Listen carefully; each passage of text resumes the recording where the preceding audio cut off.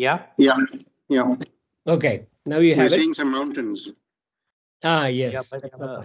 Yeah. yeah. Okay, Great. Yeah. sorry about that. I apologize for the uh, delay, but uh, we've been using Zoom. I'm very new to the Microsoft Teams, but Teams.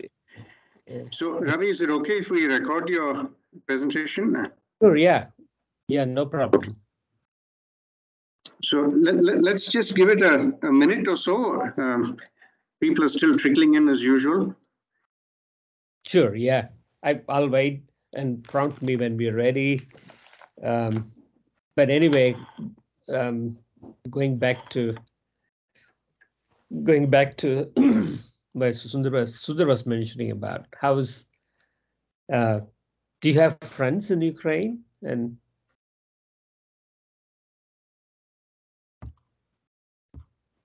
lot of friends, Ravi, Mhm. yeah, both sides. so. yeah. both sides. Um, I still remember your uh, some of your papers when I read it. It says Kiev.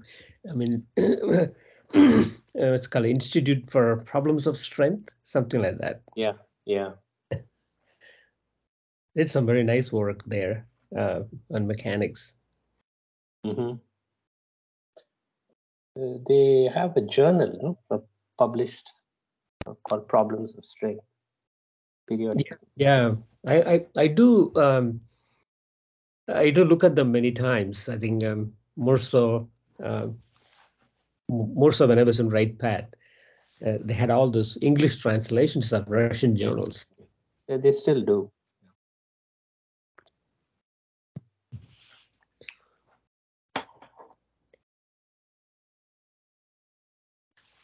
I, I think uh, maybe we should get started.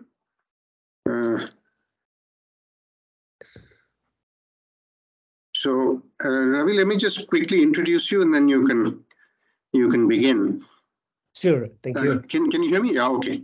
So, Yeah. uh, wel- welcome everybody to this uh, seminar, se- uh, one more in the seminar series uh, from the Indian Structural Integrity Society. We're very pleased today to have uh, Professor Ravichandran, who's uh, uh, one of the many Ravichandrans in fracture mechanics. Uh, he's the one in Utah. Uh, let me tell you a little bit about him. He's uh, an alumnus of the Indian Institute of Science, where he completed his master's and PhD, and he joined Utah after some time at the Air Force Research Laboratories at Wright-Patterson Air Force Base. Uh, his interests cover a, a wide variety of, of things, both materials and testing methods uh, in the in the broad area of mechanical behavior, including titanium alloys, steels, and and biomaterials. Uh, he's been the director of the Utah State Center of Excellence for Advanced Titanium Materials uh, about a decade ago. Uh, he's been honored by TMS with the uh, 2006 Champion Mathewson Award and also the Fellowship of the American Society for Metals.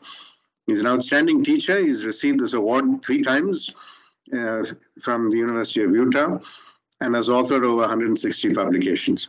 So, Ravi, we're very much looking forward to your presentation on a very important topic and which has been around for a while and never seems to stop being out of fashion, and that is size effects in fracture. Ravi, all yours. Yes. Uh, uh, thank you, thank you, Vikram, and uh, thank you, Sundar, um, and thank you, Raghu, for uh, for inviting me to provide this presentation. Uh, I heard about Indian Structural Inter- Integrity Society, and it's a great idea. I think Sundar mentioned to me one one of these WebEx meetings and fitting and fracture uh, organized by Kujawski here.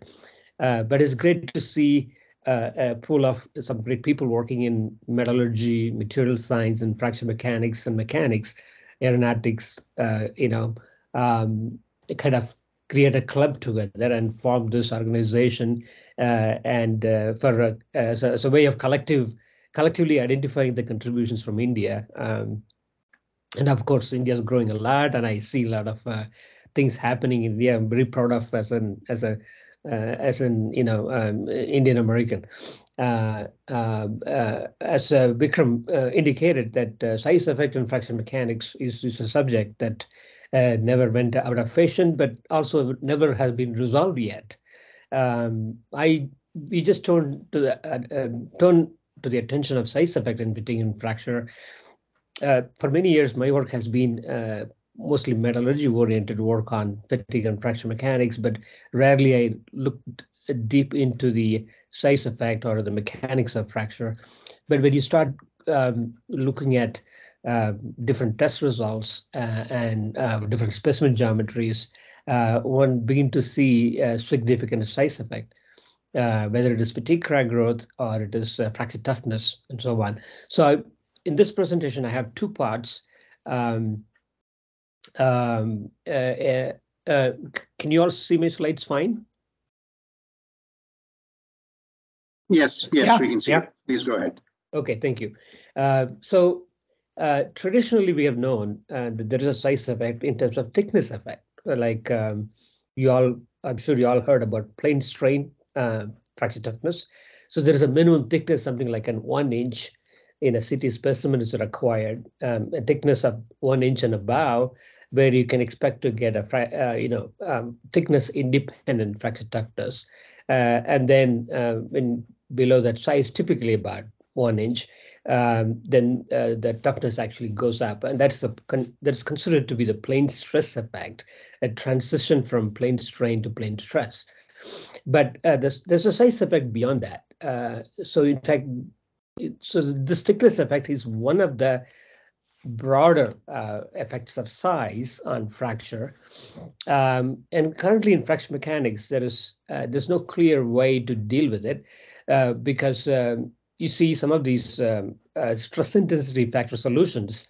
Uh, they all have been um, uh, numerically developed for CCT specimen, for example, uh, height to width ratio about three, two to three, a- and there's no variable in that expression to change your size and determine K if you're doing a fracture toughness test or you're doing a fatigue growth test. So, um, so this subject has not has not been really uh, explored in deep. Uh, so, in a way, uh, the size effect is assumed to not exist, um, at least in metals. That, as far as I have seen in literature. But on the other hand, there is if you if you go and look at the literature as well as look at some of the results, one begins to see the size effect historically as well as in some recent results. Um, that's what I'm going to kind of go over in this presentation in two parts. First part is the historical review, and then the second part uh, is uh, what is the mechanics, what are the ways we can try to rationalize the size effect or explore the size effect that you see in fracture toughness or in fatigue crack growth. Uh, and there is, as a side note, uh, Raghu probably knows very well that uh, uh, he's, in fact, he's working on it. I guess uh, there's a size in concrete as popularized by Bazant at Northwestern University, but that's of a different kind. So I'm not going to discuss about that here, but uh, it turns out the mechanics that we are going to discuss here is also relevant there, but that's a story for another time. Uh, the earliest investigation of size effect goes back to uh, Da Vinci. So was, you know, so one, most of you know very well, you know, uh, Da Vinci was like an all-rounder, a painter, scientist, philosopher, inventor, uh, and all kinds of stuff. So in in in in the West or even all over the world, he's looked upon one of the greatest scientific minds that that triggered many revolutions in science and society uh, many many years ago in Europe and and he was uh, reportedly uh, he was uh, experimenting with strength of wi- wires and he found when he changes the length of the wire uh, that um, strength goes down. So there is a size effect a length effect on strength of the wire uh, which is now thought which is now explained through Weibull uh, statistical approach because um, on the basis that if you increase the wire, the, the increased length is likely to contain a damaging flaw, thereby uh, increased likelihood of finding a lower strength in a longer length wire. Uh, so, but that's that, that that's only empirical. Even Weibull statistics is an empirical way of expressing variability in strength with size. In this case, for example, uh, the length of the wire. but there's no there's no physics. Uh, there's no mechanics uh, that why uh, why should uh, a, a- a long wire uh, should be weaker than a short wire. Um, and this is true, even if we control the flow, flaw size, that, that brings us to fracture mechanics. Suppose I bring a, um, uh, samples of different lengths, other dimensions being constant, I introduce a notch of same size in all different sizes. One would one would find that a longer specimen has a lower strength at a constant flaw size. Uh, uh, there's not many data out there to support it, but I have seen some data, and I'm going to share you share with you a little bit later. Uh, one of the earliest indications of size effect was uh, was as um, as written by George Irwin in 1997 article in JOM, which Journal of Metals, Illinois Metallurgy Journal, and uh, he points to the uh, earliest study by Stanton and Batson, and also Docherty. This is like 19. Uh, Stanton and Batson did the impact toughness tests on steel, like a Charpy impact testing of steel with the V notch, and then you know he varied sample sizes um, and they determined toughness, and he showed a strong size effect. Subsequently, Docherty, also I think in in some uh, British Arsenal, I think somewhere in uh, uh, somewhere in North England, uh, somewhere in Scotland, uh, he was uh, experimenting slow bending tests of notch samples, and these samples were um, mechanically similar, meaning uh, there is a mechanical similitude by varying uh, specimens in, in, in proportionate sizes when you do the test. So uh, it's, it's amazing how Stanton and Batson as well as Docherty was very careful in keeping mechanical similitude. That means when you increase the um, length, uh, increase the width or thickness in proportion. So the so the ratios are the same when you go from small to large specimen, and and you'll see that here. So this is some of the uh, uh, slow bending test results of Docherty, and the photograph on top shows, you know, three different sizes of samples. And this is a bending test, and depth is the or the width of the beam is shown. Uh, so he basically varied the uh, depth of the specimen, and, uh, and if you look at his uh, load displacement records in the figure um, bottom left, um, basically he tried to plot um, a load divided by uh, area of the section uh, uh, are actually the uh, yeah load divided by area of the section and uh, and you can see these curves uh, and you can see the ones that are appear to be kind of brittle goes up to some the first curve on the left there's a maximum load and then drops uh, so almost like a semi-brittle behavior. Uh, that's the uh, that is the one of the biggest samples. Uh, but if you go to small size, something like 10 millimeter um, by 2.5 millimeter, the curve on the farthest right uh, has a more ductile behavior. There's a maximum, uh, the, the, the, the, the peak is kind of an approximate measurement of stress that the specimen is being subjected to during bending. And you can see the peak stress is roughly the same but the area under the curve is actually much, much higher in a smaller specimen. Uh, so meaning that when you plot the uh, energy of fracture, uh, which is shown on the, which this is a figure that copied from Docherty's paper. Uh, on the right, you see the energy uh, per unit volume, um, basically uh, um, foot, you know, um, foot pounds, which is basically the energy in, in English units, divided by centimeter cube. So he's kind of mixing units, but essentially energy is the uh, specific strain energy uh, in bending. Uh, that's the x-axis in the figure on the right, uh, and uh, there's a y-axis. I'm sorry. Uh, x-axis is your depth of the specimen or the width of the specimen. So as you can see, in small specimen, when the depth of the specimen is small, has a much higher uh, uh, specific fracture energy, and then it goes down um, uh, when you increase the, depth of the specimen. The data is not plenty, but there is uh, there is sufficient data to support that the um, inverse uh, relationship between specimen depth uh, and fracture energy.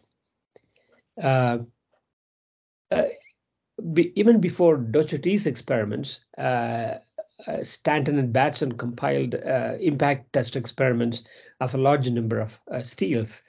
Uh, in fact, his paper uh, published in 1900, it's hard to get, but it, it's it it runs up something like 50 pages and one of the most extensive compilations of impact fraction energies as a function of size. And what is interesting in Stanton's work was uh, he, he will uh, to make make sure the similitude of specimen, in addition to the mechanical similitude of specimen, that is, specimen dimensions are proportionately increased from small to high, larger sizes. He also uh, employed fixtures and loading frames that are also proportionately sized. So it's incredible. Uh, so basically, there was a mechanical similitude in specimen dimensions and also the testing similitude in terms of a, uh, in terms of the anvil uh, for the impact testing as well as the pendulums used to strike the samples to measure the impact energy. So he he also showed, I mean, in fact, more thoroughly than Docherty that um, when you increase the depth of the beam, that means when you go to bigger and bigger sizes, uh, the sample dimensions being in proportion, um, uh, the impact fraction energy or the specific fraction energy um, goes down exponentially. Now here, uh, there's no calculation. You can simply measure the energy from the pendulum, uh, as the, the residual swing of the pendulum um, uh, uh gives you a measure of uh, how much energy is absorbed. Uh, from the dial indicator, as most of you know. So this is not calculated, just actually the measured values for different depths of the beam. So there is a strong size effect. Uh, some of the Irwin's works also indicates that there is a size effect in uh, uh, in uh, I believe in notch tension testing. So the results uh, shown on the right is basically fracture work per unit volume, similar measure that we talked about in the previous two slides with specimen um, width. Um, and these samples are notched and we can see the um, general trend. These are log-log plots. The y-axis now it's log, so you tend to get a straight line for an exponential decrease in fra fraction energy with increase in specimen uh, breadth or width. Excuse me. So somewhat similar to the uh, work of uh, Docherty uh, and um, and Stanton and Batson. Uh, and he Irwin did indicate uh, the reason for this size effect is potentially related to the fact that the work of fracture, um, uh, you know, um, uh, is is is uh, the work of fracture is sort of dependent on how it's dissipated in the specimen volume. Um, I think um, I think the previous slide he mentioned that somewhere. Okay, I'll I'll come back to that later. He he refers to um, he refers to the fact that before fracture, strain energy is stored in the volume. During fracture, it is dissipated in a planar area. So there is a disconnect between what is the energy stored in the specimen in a volume versus how it is dissipated largely in a planar fashion, like uh, when the crack is trying to propagate and fracture through the depth of the specimen. So we'll, we'll put that aside for a moment now and then come back to uh, an idea that how we can explain potentially a size effect coming from a totally different world. This is a testing of a polymer form.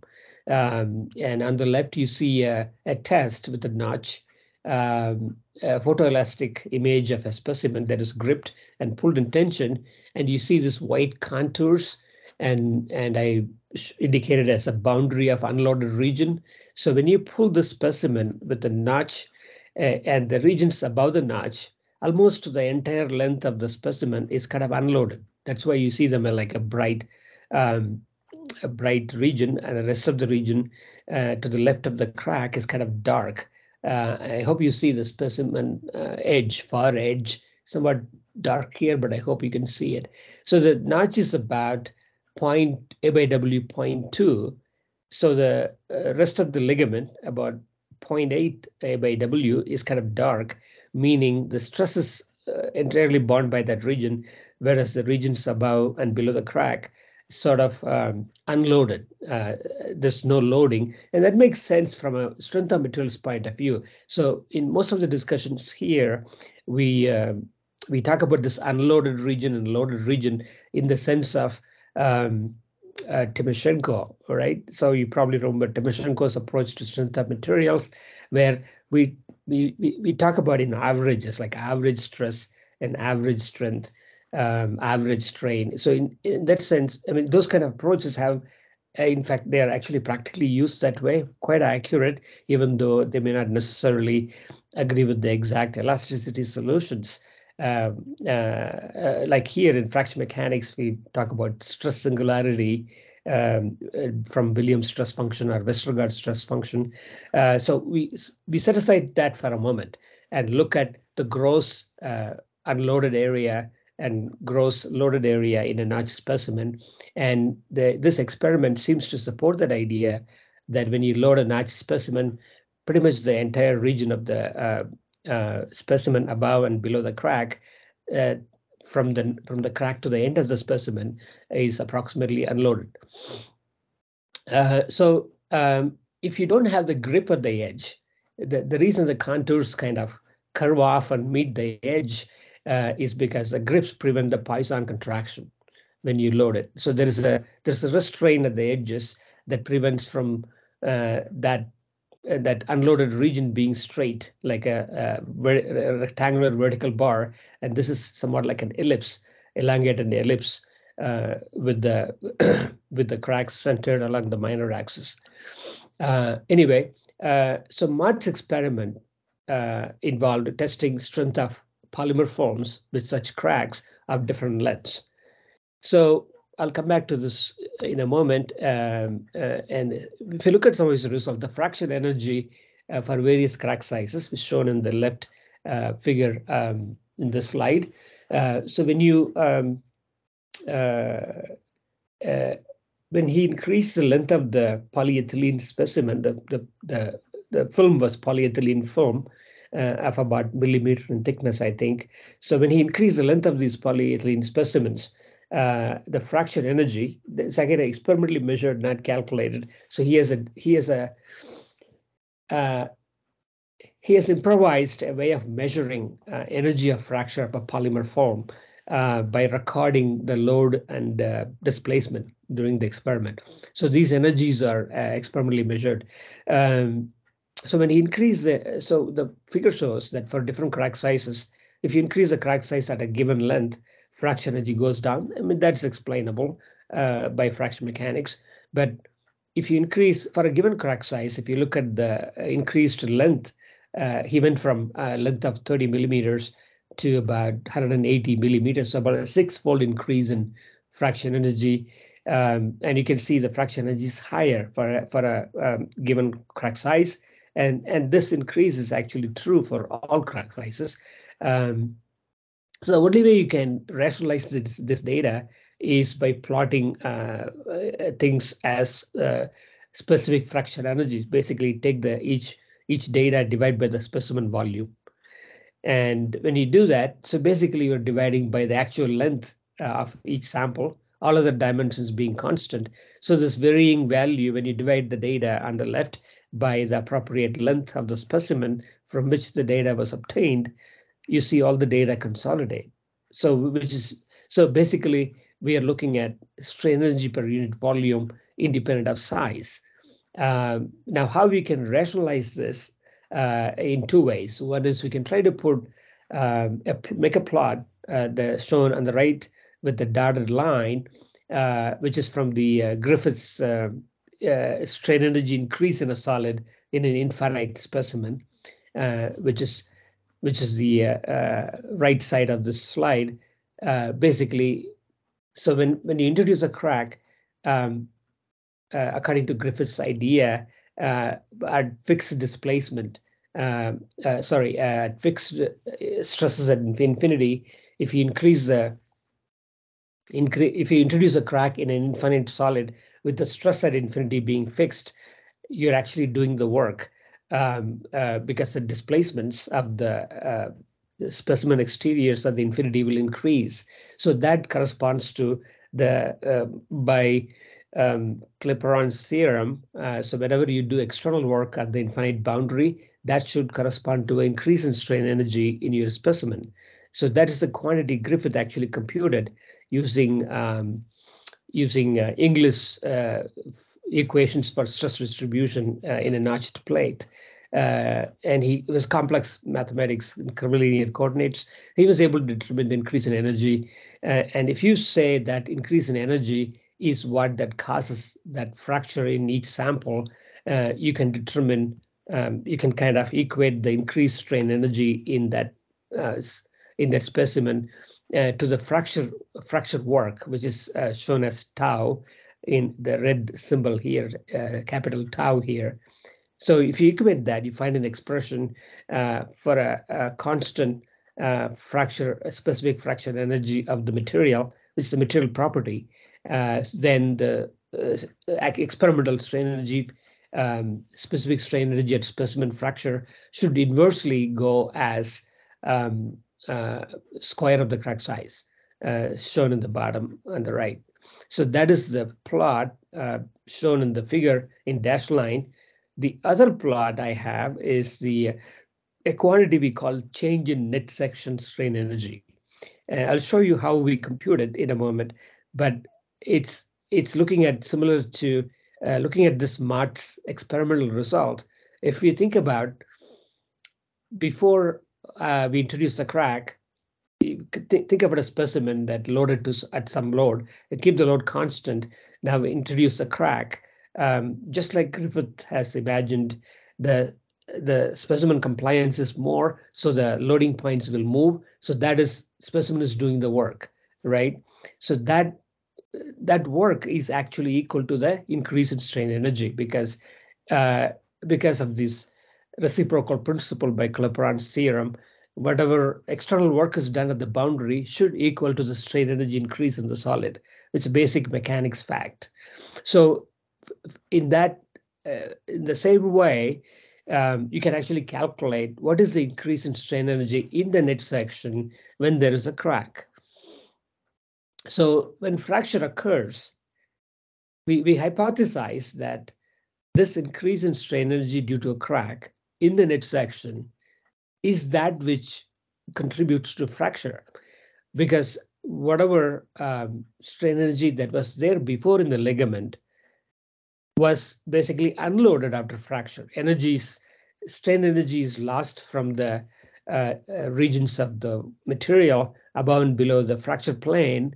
So that is spent. So if you remove that quantity, so whatever that increases, whatever the energy increase that happened due to the notch before fracture is that which is responsible for fracture, uh, uh, uh fracture uh, of the specimen. So maybe a little bit uh, abstract right now, but I will explain how we compute that a little bit later. So if you if we consider that's what is responsible for fracture, one gets a quantity that I show uh, in the bottom. Uh, specific strain energy at specimen fracture would be again tau times uh, a, a, factor one minus a by w by a by w, which is basically um, the ligament. Uh, so the above the numerator is the um, fractional ligament that is intact, that was intact before fracture, and the quantity below the um, uh, the denominator is a normalized crack size. So essentially, it's it's a ratio of ligament size to the crack size in a normalized sense. So that is the quantity that we use to plot the blue curve here uh, on the right. That seems to agree with um, uh, about half of the data uh, with crack sizes above uh, 0.5. Uh, and what happens at crack sizes below 0.5? Now, uh, we should remember that this is a polyethylene specimen and they don't have a clean crack, especially when you go to, when, when you attempt to create a short crack, there is a significant amount of uh, crazing at the crack tip, uh, leading to a poor definition of what the crack size is. Uh, just like a, so the crack is not a sharp crack, like a brittle crack, It's more like a Dugdale type crack, where there's a zone of craze uh, akin to the um, ideally plastic, uh, you know, a strip plastic uh, zone as imagined in Dugdale theory. So, so if we account for that, potentially uh, those data points will actually move to the right. So the effective crack length is actually longer than uh, the short cracks uh, for sizes below 0.5. So uh, uh, we have not showed that, uh, but I'm assuming that could potentially move the data points to the right. A similar story for impact experiment. the in, in the case here, the fraction energy normalized by specimen length uh, in which case, uh, which is the, day the raw data is on the left, and the fraction energy normalized by the uh, specimen dimensions is on the right y-axis, and x-axis is your crack size. So the data again, all the experiment data consolidate. The the experiment seem to agree uh, better with the net section change in strain energy concept. Um, but again, there is a discrepancy at small sizes, possibly due to the poor definition of a crack size due to crack tip crazing. We'll revisit this a little bit later, but this is some little bit of a, a, a, kind of a preliminary about what we think of a size effect and whether there's any experimental effect, experimental data to support it. Uh, I, I, believe this is sort of partially supporting our idea of uh, how the length of the specimen is important uh, in determining the specific fraction energy. Um, more recent results are in, in metals. Uh, this is some data from Robert Ritchie's group.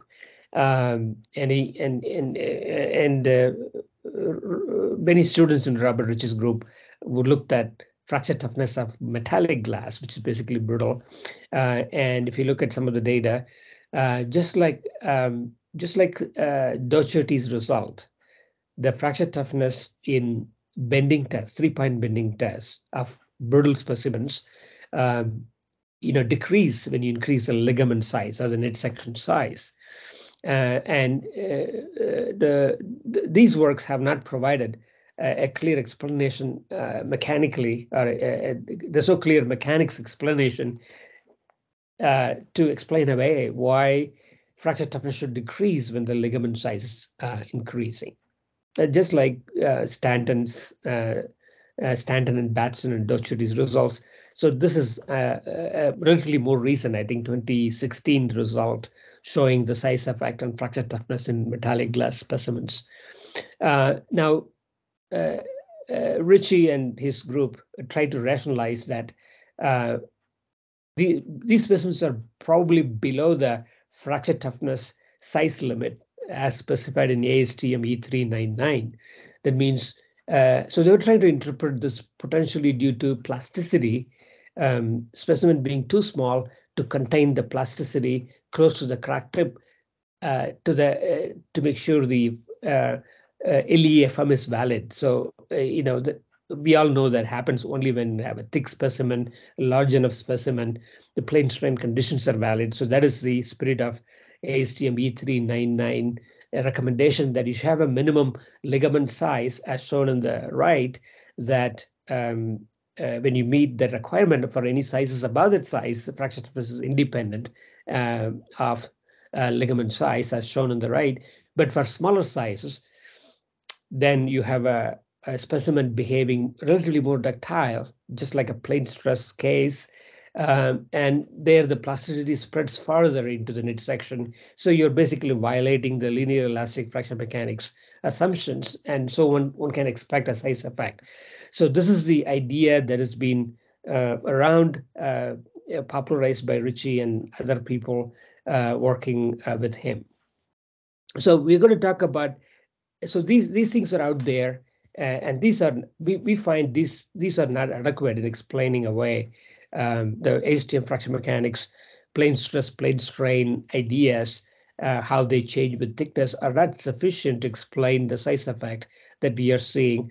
Example shown in the uh, you know polyethylene experiment, as well as uh, the historic results by Stanton and Batson and Docherty, they're not explainable uh, on the basis of this ASTM interpretation of plane stress and plane strain transition uh, when you make bigger samples.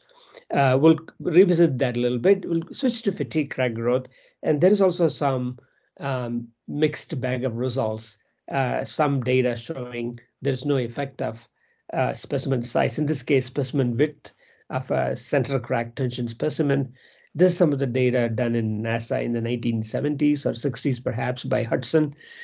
And he, he pretty much, I mean, he showed, you know, he tested plates of different width, varying from about two inch wide to 20 inch wide, and showed there's no effect of width.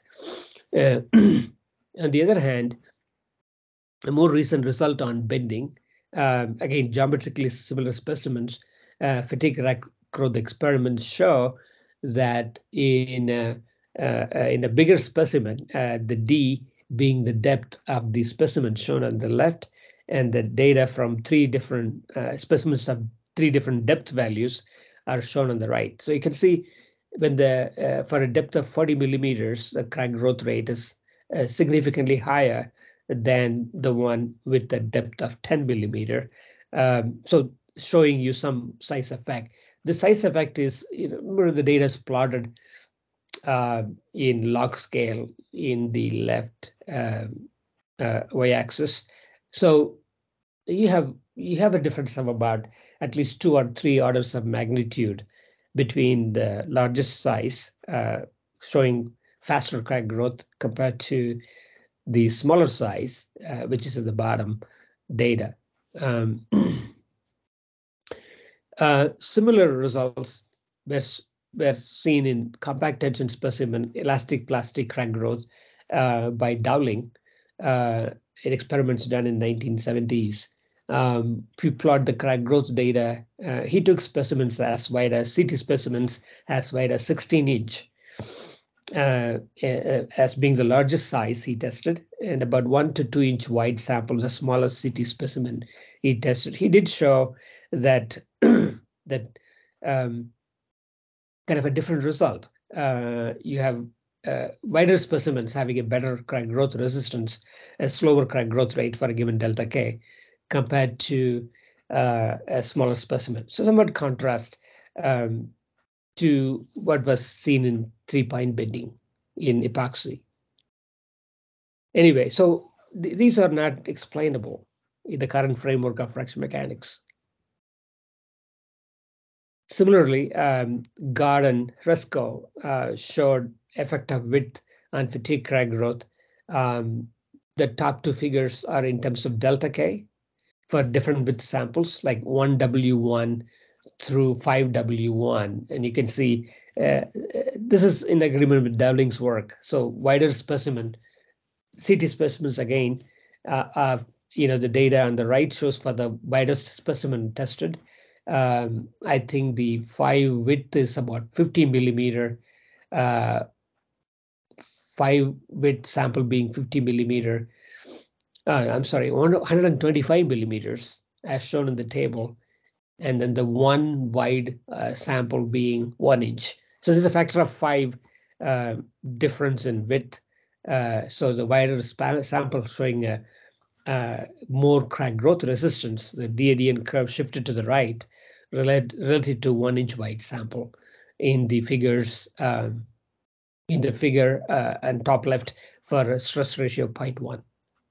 And, and even if you plot in terms of the same figure, if you look at the same uh, the figure just below uh, the bottom left figure, the same data is plotted in terms of uh, in terms of uh, uh, delta K effective after subtracting crack closure. And you can see the result now flip, the wider samples showing faster crack growth rate related to a smaller sample. Again, uh, these results have not been explained uh, thoroughly. There is some effect of crack closure, but a full account of what the size effect is on fatigue crack growth is not done yet. I'm going to skip these two slides. We'll revisit this. Um, I'm going to come to uh, come to a set of experiments that we have done. Um, actually, um, it was done in the um, uh, in Colorado uh, by Sarah. Um, she tested uh, basically these are fatigue crack growth experiments on single edge notch sample. Uh, uh, these are rotationally constrained samples as shown um, on the left. Uh, and basically you, you do, you vary the length of the specimen. Specimen have a constant width, but varying lengths giving you H by W values anywhere between 0.42 to about 3. So there's a factor of 6, about 6 increase in length of the specimen, everything being constant, width and thickness. And this is basically aluminum alloy, 7075 T6 aluminum alloy fatigue crack growth testing at R.1 uh, are pretty are, point, are equal to 0.05 and crack length was measured by DC potential drop technique. So this is raw, raw data which you see on the right, um, crack length, changes in crack length with cycles, and typical of a fatigue crack growth experiment. Uh, and now you take these data, calculate DAD and delta K curves, right? So uh, how do we do this? Uh, you have the crack length versus number of cycles data, and you have the stress, and you know the specimen is single edge notch sample, uh, actually called um, modified single edge tension sample. That is why it's called MSE within parenthesis T. So basically that refers to sample that is rotationally constrained at the edges when testing, as opposed to a pin-loaded sample. Uh, because the expression in uh, in the handbook, fracture mechanics handbook by Tada, Paris, and Irwin, refers to a, a condition where pin-loaded sample. So the K solutions are the FF A by W finite width correction factors provided there were uh, were for um, uh, provided there was for uh, pin loaded geometry, uniform stress pin loaded, which means uh, the specimens to use those expressions, one should imply specimens that get that rotate at, at pins when you do the test. This is not the case here. So um, uh, so so you see then if we use the incorrect uh, expression uh, due to I mean uh, intended for a pin loading, uh, and we, if we use it here to compute the DAD and delta K data, and you see the data doesn't agree uh, as shown on the left. So what you see on the left is the uh, crack growth data plotted as a function of delta K calculated using the pin loaded or uniform stress finite width correction factor or geometric correction factor as often that's referred to. Uh, so, uh, you know, you see the longer specimens with higher H by W of three, which is the red points, uh, are, are above are having faster crack growth rates compared to uh, a shorter specimen, uh, which is the shortest one we have here is H by W 0.4. Uh, so now these are, you see this difference exists over the entire range of delta K. So it's not possible for us to interpret this as due to crack closure or plane stress, plane strain transition, uh, or any of that stuff we, that we are we normally use in fracture mechanics. Uh, and you also notice the shift that you see or the apparent disagreement between uh, crack growth data of different of specimens of different length.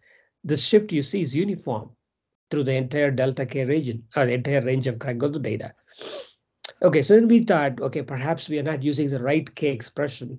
And we so we looked at some of the um, handbooks, and there is another expression that says more applicable to this rotationally constrained uh, MSET sample modified single edge tension specimen is that doesn't rotate at the ends when you test. So that using that expression um, that brought the data closer, but still not not a good agreement. There is still variability due to the size. Uh, so um, in order to examine uh, why this occurs is we thought of this net section concept, which I talked to you about. Now uh, I have the opportunity to explain fully what we mean by that. Uh, so I'll take a moment to just quickly review that idea what is the change in net section strain energy uh, in a notch specimen, how, how that works during um, crack growth. If you assume R equal to zero, like a R0 test roughly, so constant constant amplitude testing, um, you know, delta K increases with the uh, crack length in a constant amplitude testing. In the same sense, if you imagine the cyclic strain energy in the net section also increases with crack length. And and what is that and how do we determine that? So here is what we explain uh, how we do that. So if you look at the uh, loading of a schematic of the loaded specimen, uh, you see a specimen of length h and width gripped uh, you know, rotation, no rotation uh, gripping at the ends. So there is a part of specimen inside the grips that is clamped. So we often call it clamped edge, right? Um, samples um, or clamped edge testing. And so if you if you don't have a crack, the specimen will show an elastic deflection of delta naught. Now, under the same load, if you introduce a crack, uh, let's say halfway through the sample, then due to increased compliance, the specimen will deflect more. So now there's a change in the strain energy of the sample. Uh, on average, it is concentrated in the niche section, so shown in green. And how do we compute that? Uh, we, we compute this by comparing the load displacement. Um, the, the simple principle, like uh, as illustrated in fracture mechanics books, that the energy difference is the area between the two curves as shown on the right. So if you if you if you if you have a uh, the one uh, crack-free specimen has a low displacement uh, low displacement relationship, as shown in the uh, figure on top, uh, right side on top, and then when there is a crack is introduced, that curve should have a lower slope, right? Uh, with, so with crack size. So the um, so the at constant load, there are two different deflections before crack is introduced and after crack is introduced, right? So that gives you that area um, uh, area highlighted as uh, highlighted in pink color here. So that is your work done. In an in in essence, uh, that is external work done when the crack is introduced. Uh, and but you can interpret this in terms of stress as well. Uh, so you convert the stress um, uh, stress in the ligament before the crack arrived there is sigma. After you introduce the crack, that stress has increased. So there's increase in stress in the niche section after the crack arrived there. And that increase in stress also causes increase in elastic strain energy, which corresponds to the work done uh, as interpreted in the figure above. So this is what we call the change in um, strain energy uh, of the niche section, and you can uh, you can kind of slightly modify uh, for various uh, stress ratio. If you change the stress ratio from R equal to zero to 0.5 or 0.7, you can account for that. That is shown in a different paper, uh, but I won't go through here. We just simply talk about R, R close to zero. That means we have to worry about only P max. Uh, P minimum is zero practically. So for that case, if you compute this quantity, you get an equation uh, as shown on the right. Um, you notice that the equation on the top I have includes stress ratio R, and that is from that from that work I mentioned about where we accounted for the stress ratio effect to compute the change in strain energy in the niche section. But if you take R equal to zero, that term disappears. Uh, so essentially what you have uh, an expression similar to what we uh, showed when I explained away the uh, uh, polyethylene uh, length effects on fracture on strength of polyethylene samples, experimental data of Mott that I showed before. So similar expression here, uh, and this is for crack growth. So now, uh, how does this how does this compare with some more rigorous fracture mechanics result? Now, if you if you if you look at all over fracture mechanics, the size effect is not talked about much. But if you really, you know, uh, delve deeper into the subject, uh, there is some numerical work done by Bowie uh, in the 70s, I believe, uh, that looked at the effect of length of the specimen uh, on, on stress intensity factor. And that's what's shown um, here in the table. Um, you, uh, Bowie tried to compute numerically uh, he, he kind of mathematically handles specimen um, volume above and below the crack uh, using some integral approach and determines the uh, kind of an asymptotic solution um, uh, by using asymptotic approach he finds out the uh, k value of a crack. Uh, you know just like um, many other works that numerically determine k by by by measuring the strength of the singularity at the crack tip or the crack crack tip uh, crack wake opening profile. Um, you know, singularity goes as inverse square root of distance uh, from the crack tip, from the uh, uh, for the stress singularity. For the displacement, uh, it also goes the square root of um, distance behind the crack tip. So you can use either of these linear elastic conditions to force a solution and find out K, uh, conforming to those crack tip or crack wake condition. And that's how numerically uh, many of these methods calculate K value. Um, uh, there is no analytical approach to determine K value in uh, in in these uh, in this uh, fracture mechanics framework. So he tabulated values for various A by W um, in the table here and various H by W values. So H is the height or length of the sample, W is the width, and you can see, uh, and his data is plotted on the right um, for different H by W value, starting from uh, H by W1 uh, to about four. So four curves, one, two, three, four is your H, uh, length to width ratio. Uh, that's the data. And the lines uh, we show is from the net section approach we computed uh, as you can see the equation above, the change in net section energy times E, square root of that is the fracture mechanics equivalent here. So the change in net section strain energy works uh, similar to the Griffith's uh, strain energy that he computed uh, for a crack in an infinite medium, right? The delta U term we talked about before. So it has the same uh, it has a similar principle behind that. So it's similar quantity. So just like we convert uh, Griffith's energy to K, we just multiplied the change in net section strain energy by elastic modulus, take a square root. So that gives you the uh, a quantity that is analogous to uh, K that you can compare with the numerical solutions of Bowie here. So that is what is shown, and we have a, we were actually surprised to find a pretty good agreement from a simple equation um, um, uh, with the numerical data of Bowie, which is considered to be more exact. But again, uh, sometimes when when you look at the fracture mechanics handbooks, uh, the K solutions are accurate to 1% or 0.1%. I really don't know what's the basis of those claims. They are accurate, no doubt, but there is a reference um, to the accuracy. There should be an independent reference to accuracy. So there can be some errors, uh, but the statement of accuracies that you find in fracture mechanics formulas are kind of self-reference.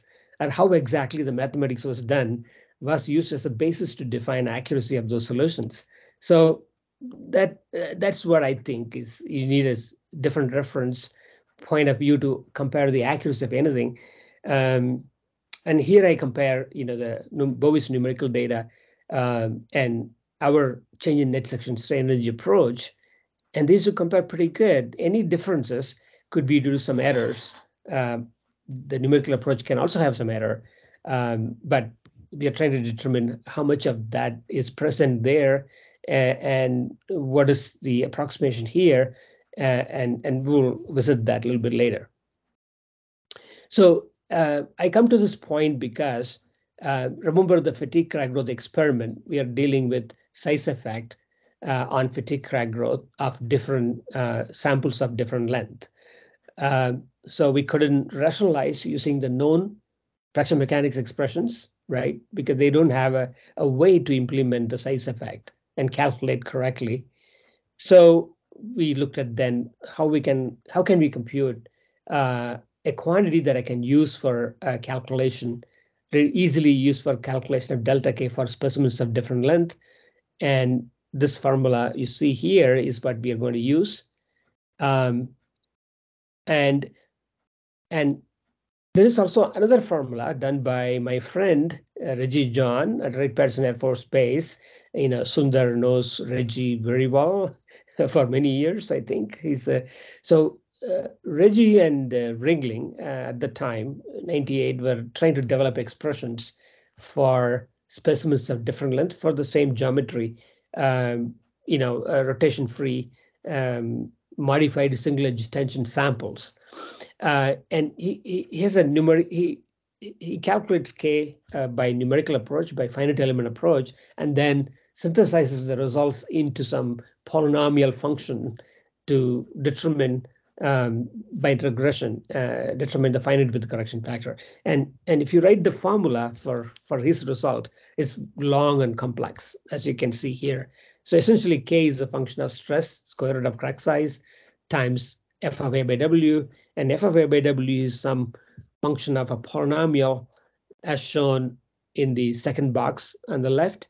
And then in that box, you see the numerator has coefficients ai you know, AI can go from one to six, and each each A, A1, A2, A3, uh, A4, shown in the left, have uh, some long functions of specimen size. Okay, so there is a there is a work done numerically to capture the size effect on fracture mechanics, uh, but was not much appreciated at the time. Um, but I remember Reji was trying to test some metal matrix composites of different uh, sizes. So he needed this kind of work. Um, but I, I, I, use this as a comparison um, here, okay? Now, so if you put aside the net section parameter and use uh, Reji, Reji's expression for DAD and delta K computation, the data agrees good for h by w greater than 1, but h by w less than 1 do not agree. They're they're still shifted. Um, the the blue and the black data points, the blue diamonds and black squares are still far away from the consolidated data that you see for h by w greater than 1. And if you use a net section parameter uh, that we developed here, you can uh, have a better agreement uh, as shown on the right, but still they're, they're a bit far off from each other. Uh, we have to rationalize that somehow.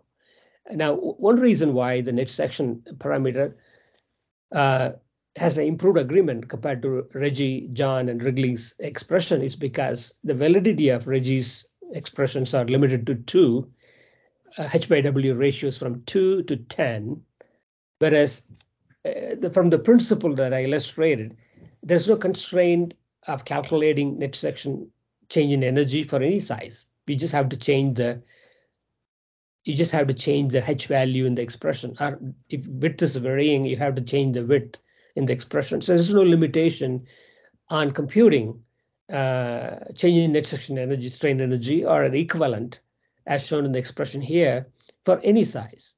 So um, that's how we use it to calculate the delta C um, and compare the data, plot the data, uh, DAD and crack growth rate versus change in net section strain energy as computed by the net section parameter for various H by W, they all they agree better, right? So it's still far off. That's a mystery, and and that mystery I'm going to explain next slide, and that is uh, we've been pondering about this for a while and why why we are not able to consolidate the data in despite the fact that we are kind of averaging everything here, right? So uh, one may doubt that the net section approach is sort of approximate or kind of a, you know, uh, you know, some grand scheme of averaging of energy in the net section as opposed to fracture mechanics, which captures accurately the correct behavior, right? So one could argue that, in fact, I hear that argument many times that you know we are doing average sense in the net section approach. So how do you expect to how do you expect it to uh, explain away your result very well? So uh, a valid point but i think uh, I, I think that there are other factors that leads to this little bit far off data here uh, which i'm going to talk about in a moment. So we have to take a look at what is happening inside the grip by the way, can all of you hear me well still? Yes, it's fine, Ravi. Go ahead. Oh, okay. Sorry. Um, okay, so uh, I think three or four more slides, then I will be coming to the end of my talk. Uh, so uh, this is an important point that I like to um, explain uh, to give you an idea of what we are talking about and why there are discrepancy uh, in the agreement uh, in, in trying to have the data agree with each other when interpreted in terms of change in net section strain energy. So if you think about um, the portions of the uh, specimen inside the grip, as the crack grows in the fatigue crack growth experiment, everything is changing, right? Including the part of the specimen inside the grip, the energy within that is changing uh, as the crack grows. Even though you're compressing by the grip, we are not we are not influencing by this gripping process. We are in no way altering the tension, uh, tensile stress fields or the corresponding strain energies that the specimen experiences for the portions inside the grip. So um, so the gripping is in compression. That is that is in the thickness direction, right? So so when you when you pull the sample, the there is a shear stress uh, that transfers the load from the grip to the specimen to the gripped portion, uh, and and then it takes some length over which the shear stress transforms into a normal stress. So this this idea is for, comes from shear lag theory uh, that people use in composites or in uh, reinforced materials about how load transfers from a broken fiber in a composite to the matrix, uh, from the end of a broken fiber inside the composite to far away into the matrix, how the load is being transferred is basically um, approx uh, basically analyzed through the idea of shear lag. I think um, was, was one of the earliest work done that was Kelly and Stewart in uh, Cambridge. Um, we, we use a similar approach in the sense uh, we are trying to find out here um, uh, what is the effective length of the specimen that is actually uh, in effect during the experiment, right? So, all right, we have a specimen length defined as h outside the grip, but there's a bit of a uh, length, we call it h naught, inside the grip, and that experiences um, the change in strain energy as the crack grows, but but that change that occurs within that is in terms of shear stress, right? Because a field of uh, load transfer within the grip section is basically shears in, in the sense of shear as shown in the red line. Um, and so when there's a change in strain energy that happens in the net section within the specimen, in the middle of the specimen, the corresponding changes are also occurring in the portion of the specimen inside the grip. So that means the specimen is actually in effect effectively longer than what really it is outside the grip. So we have to determine that to account for the true length of the specimen. So uh, that once we realize that that concept, uh, the importance of this concept, the impo importance of the portion of the specimen inside the grip as being in some way part of the whole experience of change in net section strain energy, if you realize that, then we can ready to write an expression as shown here. Uh, so um, in the green box, you see below the specimen here is on the left is the is the strain energy, elastic strain energy in the in the gray area um, uh, that is that is kind of uh, that is there due to the shear lag uh, load transfer mechanism from the grip to the specimen. And on the right is the is the strain energy as you would see within the middle of the sample, right? For a crack-free specimen. Remember, this is by the way, it doesn't matter. You had to first determine for a specimen without a crack. So we, I'm trying to relate the idea of the strain energy within the grip for the portion of the specimen within the grip uh, and the strain energy um, uh, far away from the grip. So uh, it should be the same. Uh, let me stand that a little bit corrected. The strain energy density, um, the elastic strain energy density as created by the shear field within the grip is what's on the left side of the equation. And on the right side is the tensile strain field, uh, tensile strain energy density as you would interpret in a unit volume of a specimen far away from the grip. So both should be the same, right? The energy densities should be the same. And we use that idea to determine what's an effective extra length inside the grip behaving as being part of the specimen during the fatigue growth experiment, right? So, and then you you you we interpret that as Hg, meaning the extra length Hg within the grip is related to um, two times the length of the sample that is gripped inside the grip. Uh, the, and the, length of the edge that is gripped inside times 1 plus Poisson's ratio by 4. So it's a simple analysis here just to find out an effective length effective equivalent length for a tensile strain field, uh, uh, tensile elastic strain energy. Sorry, this became a little mouthful here. I, I, hope you follow what I'm referring to, but I can explain a little bit better later. So if we implement this concept, then your actual specimen aspect ratios change from, um, you know, change from, um, sorry, uh, change from 0.42 for the lowest size to 1.1 and 0.7 h by w becomes 1.37. So the new length we, we refer to it as h star by w. So h by w changes to h star by w. And these values change from 0.4, 0.42 to 1.1, 0.7 to 1.37, and uh, uh, 1 to 1.67, 1.5 changes to 2.17, uh, and um, and so on. Um, three also changes like like the like as it is shown. Kind of I can't see it here now because it's kind of overlapping with something else. But I, I hope you see it. Okay, um, I think 3.6 something like that.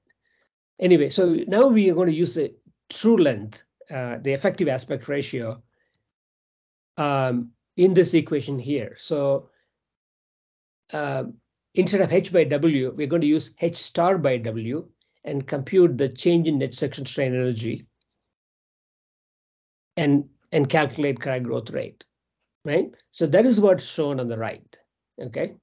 So when you actually use the um, uh, grip section uh, included in this change in strain energy calculation by, by, by correcting the effective length, correcting for the effective length, we see improved correlations uh, in not only net section approach, but this also works for the uh, uh, Reji John Rigling's expression because um, using the true length, effective length, changes the h star by uh, h by value that is valid. Um, remember, uh, uh, John Rigling expression is valid for h by w 2 or above. So when the modified values um, change from, say, the lowest aspect ratio h by w is 0.42, and by effective effective length um, uh, is becomes 1.1. So now the 1.1 is more close to 2 than 0.42. So that means the use of effective lengths will naturally provide a better agreement with the data when we use the same uh, expression from um, John Rigling simply because the um, use of specimen portion inside the grip makes uh, John, John and Rigling expression more applicable, more valid compared to compared to the uh, original aspect ratios without the grip portion. Now, uh, the change in net section approach is appears to be even better because the correlation is slightly tighter than the one, the correlation shown on the right is slightly tighter than the ones on the left. So, so we are happy about that in the sense, okay, yes, we are able to compute quite accurately the size effect on fatigue crack growth by the change in net section strain energy approach and by including the uh, eff effective length of the specimen length, uh, including the portion inside the grip. And this has been published. I have not updated the reference here. It's been published in an International Journal of Fatigue, and you can easily find it. Um, if any of you interested, I can send it. Um, okay, so now you see why um, the net section approach, uh, fracture mechanics uh, data from fracture mechanics equivalent of the net section approach, why it agrees with the numerical result well here as shown in by the comparing with the Bowie's data. And also experimentally it is shown during fatigue growth experiment uh, that the size effect can be rationalized easily, readily, in a simpler way by the change in net section approach. Um, this is my last slide, and um, now does it work for other geometries? Um, so we recently looked at, uh, so the formula is nearly the same. You see the change in net section strain energy calculation is, is pretty much the same as the single edge uh, cracked specimen, because basically you can you can cut the central crack tension specimen in the middle and you have two single edge crack specimens, right? So as long as you account for the width, uh, you know, the, the width of the uh, center crack tension specimen is 2W. And once, once you cut it into half, of course, you have W on either side, right? So if you make the change uh, and and the same expression is applicable for central crack tension specimen. And we have the uh, calculations from this equation here shown as lines and the data is from a numerical data ISIDA. Now ISIDA's work was done in 1960, uh, sorry, 1973, and has been used as a basis to calculate or to determine f of a by w uh, in Tada, Paris, Irwin handbook. So in fact, if you look at the uh, the first expression for center crack specimen was actually um, produced by Irwin himself from Westergaard stress function. That is the um, uh, tan uh, tan function. They used to call it tan function for center cracked specimen. And then Feddersen came and he looked at Ishida's results and he said all the data by some magic, right? Um, all the data can be fit by a secant function. Uh, so indeed, I mean the uh, almost uh, the entire data set um, of Ishida's numerical k values for central crack tension specimen was simply fit by a secant function by proposed by Feddersen, uh, and that's what the second formula in your uh, Tada Paris Irwin handbook. And then, of course, Tada uh, improvised on that, added some more things to make it more accurate. So, so Isida's results is sort of a, um, you know, kind of a sort of the center of the universe as as the probably the most accurate uh, analysis performed on a crack in a central crack in a central crack configuration to find out k values. So we are now comparing with that data, his tabulated data that Isida has in his paper, and with the calculation here. And I would say the agreement is pretty good for the simpler approximations we are doing. And you can see the agreement for the uh, 0.4. Remember, the approach we use here can cover any any h by w. Uh, you know, there's a limitation in fracture mechanics that often said is that you can't you can't use shorter specimens, meaning uh, your samples cannot be shorter than uh, shorter than the width of the sample, right? Giving you h by w values less than one. Uh, the fracture mechanics formula by uh, by Irwin or by Feddersen or by Tada, they break down because they're all applicable for um, H by W2 or more, I believe. Um, so there's that limitation there, but the numerical results were done for all HBW, which is not which has not been synthesized into any any good formula in fracture mechanics. In fact, they uh, work uh, was was not fully utilized uh, to implement it in fracture mechanics. So, but we are here using it for comparison with the net section approach uh, in the interest of um, finding a simpler uh, yet accurate enough approach to calculate driving force for crack growth in fracture or fatigue for samples of different sizes. So that's our broader philosophy, our broader pursuit here. Can we use the strength of materials approach by Timoshenko, right? So this is people people would call this like a kind of a Timoshenko approach. Uh, uh, so our motivation is to find a simple way uh, to develop expressions for um, calculating crack driving forces for specimens of various sizes. Here, mainly talking about length. Similar principles work for width and thickness, um, and we haven't explored that yet. But experimentally, one one can, I believe, one can confirm uh, the very effect of width or thickness again, this is again beyond beyond the plane strain, plane stress idea that is uh, common in fracture mechanics. Anyway, um, just to conclude, um, uh, so there is a broadly you see we see broadly that there is a size effect, uh, whether you talk in terms of fracture or fatigue, uh, and in terms of fracture you see um, size effect in various forms of fracture testing, including um, notched bending, slow bending tests, notched impact tests, uh, whether it is metal, glass, or a plastic, um, and and uh, and more importantly that uh, the, so uh, you see the only experimental, um, only good experimental support here is the Mott's polymer film experiment showing the photoelastic unloading of the material regions above and below the crack. And that is the only, uh, I believe, uh, that is the only uh, experimental support for all that, but we are doing it here. I mean, you could theoretically say there's nothing wrong with our approach, right? A simple strength of materials approach, right? It doesn't violate any fracture mechanics principle.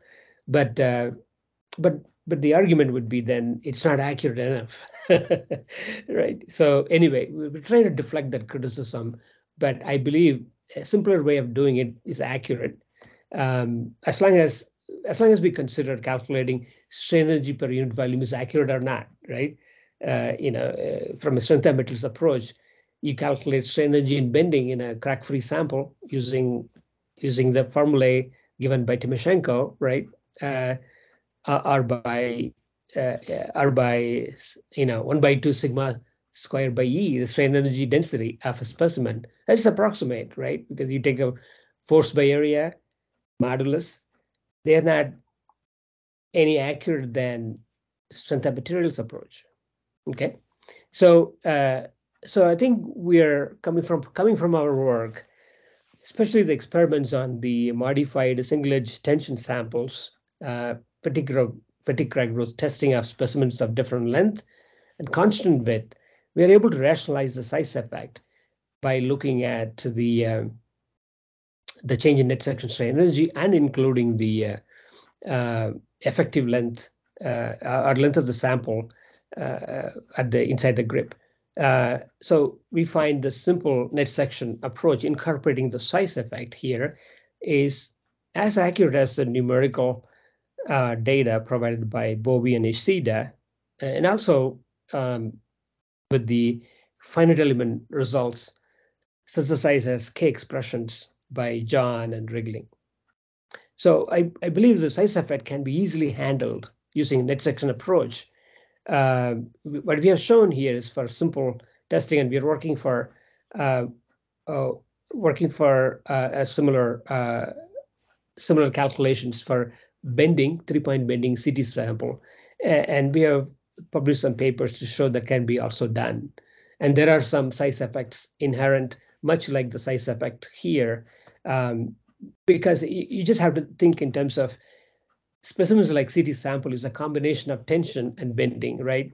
You know, uh, and so on. So, uh, and there is a, uh, we worked out some of those formula and then I'll, I'll share it in a future uh, future occasion. Um, with that, you know, uh, that concludes my talk. I really appreciate uh, uh appreciate um, Raghu for inviting me, and and also the other member key members of InSIS, which is Vikram uh, and Sundar, both of whom I know very well, and it's a pleasure to present this at their presence because they have done some remarkable work. Both Vikram, um, I do remember uh, just a little bit of history, uh, Vikram. I do remember the day uh, Vikram came for interview from Stanford in IISc. Actually, I don't know. Oh. I, I don't know. I don't know. Vikram remembers, but we actually went and picked him picked him up from Bangalore rail station. I remember. I remember. so, uh, and of course, Sundar I know very well for many years. It's been uh, one of my motivating forces in Bangalore when I was there. So with that, thank you. Thank you for your attention. Thank you, Ravi. Uh, I've actually unmuted uh, everybody. So if there are questions, I, I, see two in the chat box. But you're well. If Mahindra is there, he's welcome to unmute himself and ask the question. This is a question regarding compliance. Sure. Okay, I'll read. I, okay, Uh, I'll read the question out. Uh, it says, are you using the compliance method to calculate K1?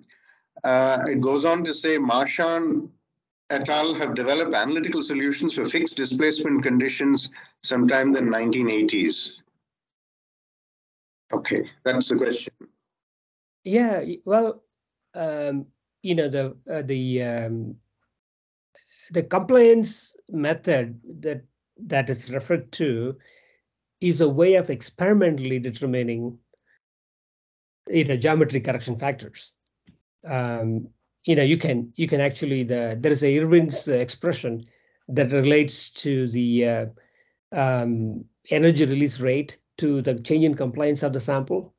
Uh, and so people have done experimentally measured, uh, of course, take the specimen, grow the crack at different crack lengths and measure the load displacement functions. And then there is a Irwin's relationship. You can calculate the finite width correction factor from that. Uh, but much of the um, uh, uh, finite width correction factors that has been compiled in Tada Paris Irwin handbook, the fracture mechanics handbook, right? Uh, you all familiar with. Those are all mathematical solutions, most of them. Uh, and if you look at Isida, Benthem and Koiter, um, Feddersen, uh, Jim Newman, um, so there was a lot of famous people. Uh, Paul Paris, of course, um, Jim Rice, uh, J Integral, right? So, uh, are um, uh, you know, there's a lot of people who worked on fracture mechanics in the 70s were mainly devoting their energies to mathematically determine the the the uh, the uh, finite width correction factors for various fracture mechanics geometries because it enables them to characterize fracture do, using different testing approaches, different specimen geometry. Uh, so compliance method that is that you're referring to probably you're referring to experimental measurement, and they're not many. Uh, they are not uh, many.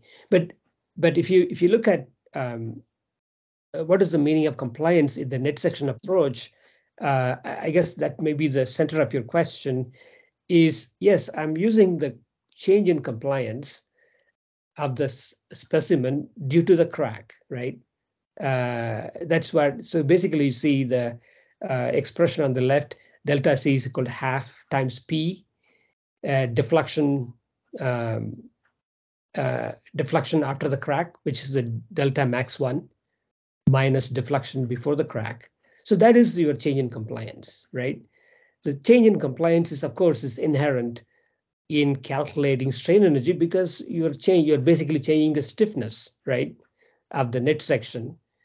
So you use that principle and then you go from that to stress and strain as shown in the figure on the right. So, so loads and displacements can correspond to the stresses and displacements in the net section.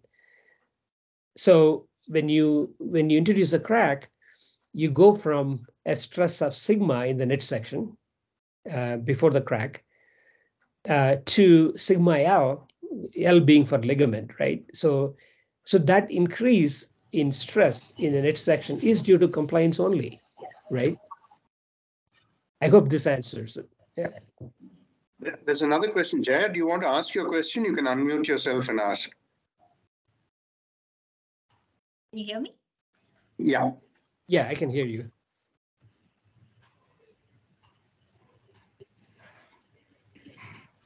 yeah, please go ahead. Hello. Uh, yeah, sorry. Uh, many thanks, Professor Ravichandra. It was very insightful for me to learn about uh, these things, and we've been working on some of these as well. Uh, so I was wondering if the uh, grip length that you talked about in the shear lag, uh, where you consider H naught, uh, is that a constant or is that also scaling with the sample length H, the capital H? Uh, It's simply a function of how much you grip inside the, how much, what is the portion of sample you grip inside the inner grip? Yes, I understand that, but uh, the H naught that you take is is something that um, di- dictates your H star, right? If you can, Hg, sorry, Hg, yeah. So, so this H naught, is it a fixed quantity in in the experiments, or is it something that scales with the sample height as well? Yeah, no, no. You see in the figure, uh, H naught is indicated. So it is from the uh, edge of the grip. It is simply the length of the specimen inside the grip. I, I guess the question is, uh, when you scale the sample up, are you also scaling the gripping portion up or do you keep that a constant? Yes. Oh, um, oh, okay. I understand now. I think in the experiments it was maintained constant. Um, uh, yes. So uh, yes, in the experiment it was maintained constant.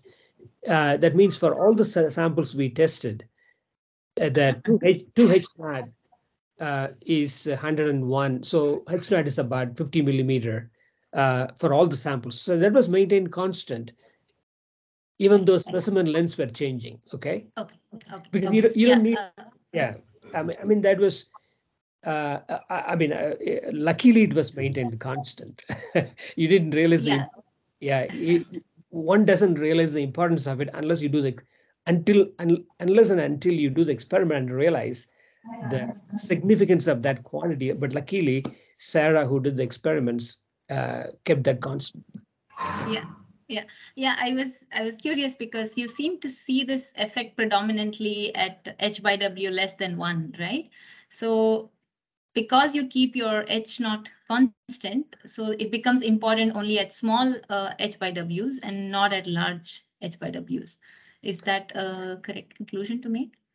Uh, it, it's important at all sizes. It's just that we don't see the we. It's not as dramatic uh, uh, for two reasons. If you see, um, oh yes, in a way you are correct. I think what you are pointing out too is the fact that as you as you decrease your specimen length, right, the grip size, the portions inside the grips are becoming comparable to the specimen length outside the grip, yes. right? Yes. That, that's why the significance in, increases. Uh, but if you have a if you have infinitely long specimen, then the Mm -hmm. portion within the grip, if maintained constant, will be insignificant. Yes, right, correct. Yeah yeah i mean i was actually curious because like i said we we do such experiments we were doing it on wires rather than uh, rectangular samples so this is cylindrical geometries uh, but I, I, was curious if i did the opposite of uh, actually fixing my overall sample dimension and varying the ratio of the extent that is gripped versus the extent which is free uh, then my results uh, may be different or it probably would be the same? Um, uh, I, I, I think if you're, let's say you are testing um, uh, very long specimens like wires, right, uh, of a, a, meter or two meter or three meter, uh, with those lengths, and if you're gripping, say, about an inch on either side, you may not see a effect of that grip portion. Um, but if you're having a short wire, right, a very short wire, say one inch long wire, and you're gripping either side one inch left and one one inch on right, then you will see a substantial effect of grip size. Um, as understandable now, right? Because because your your your calculation, uh, the changes in strain energy that happens um, um, hold on a moment. Yeah, so here here's the expression for h, um, and you take a square root of that when you for comparison with k, right? You see the h is under square root, so um, uh, it, it, has a bigger effect at smaller.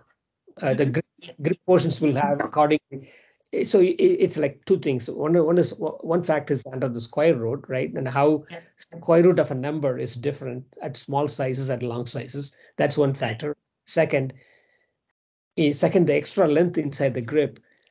You know, it's obviously dominant at small h values than at large h values. So both will will affect. But I, I would point out to the uh, uh, result, right? Um, so if you look the curve on the bottom, uh,